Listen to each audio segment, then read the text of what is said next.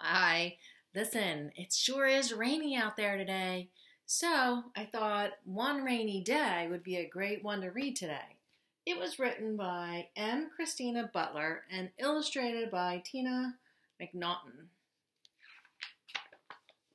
Let's see. Pitter pat, pitter patter, pitter pat. Little Hedgehog woke to the sound of raindrops. Hooray! he cried happily. It's raining at last. I can wear my new raincoat, hat, and boots and try out my lovely umbrella. Little Hedgehog wriggled into his shiny new boots as quickly as he could. He ran outside, opened his umbrella with a pop. Pitter patter, pitter patter pat. The raindrops bounced all around him. This is great, little hedgehog laughed, spinning the umbrella around and around and splashing in the deepest puddle he could find. Is there room under that umbrella for me? came Mole's small voice from nearby. I'm getting very wet out here. Goodness me, you are wet, Mole. Here, take my umbrella, said Little Hedgehog. What are you doing out in the rain? My house is full of water, replied Mole sadly, and I'm looking for somewhere to dig a new home. I'll come and help you, Little Hedgehog offered. Thank you, said Mole, smiling.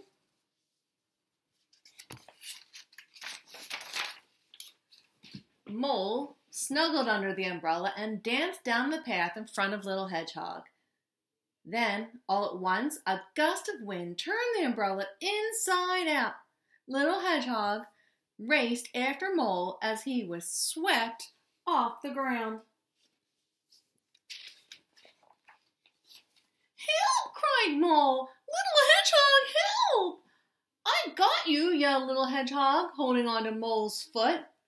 Little Hedgehog pulled with all his might. They wibbled and they wobbled and then they both fell over bump.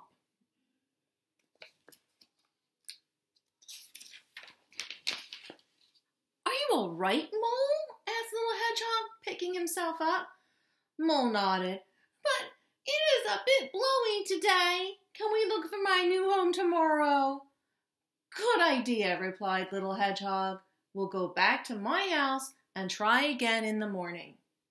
But just when they thought the wind had passed, a huge gust tossed them like autumn leaves high into the air. Oh boy. The umbrella fell in the river with a splash. Little Hedgehog dropped safely inside it, but Mole fell straight into the water.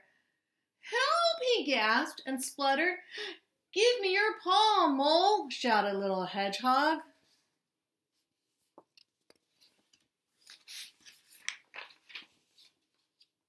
Mole scrambled into the umbrella as it bobbled on its way down the river. Thank you, little hedgehog, he whispered, shivering. But then he sat up. I can hear someone shouting. It was Fox waving from the bank.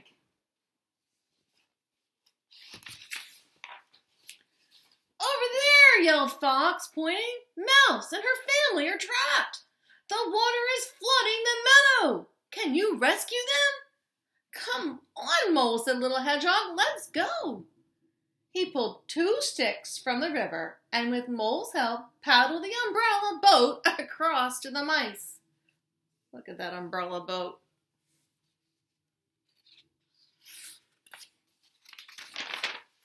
The water was getting higher and higher. We're coming, cried Little Hedgehog as the frightened mice swung to and fro on the grass. Then, one by one, he and Mole lifted Mother Mouse and her babies gently into the umbrella.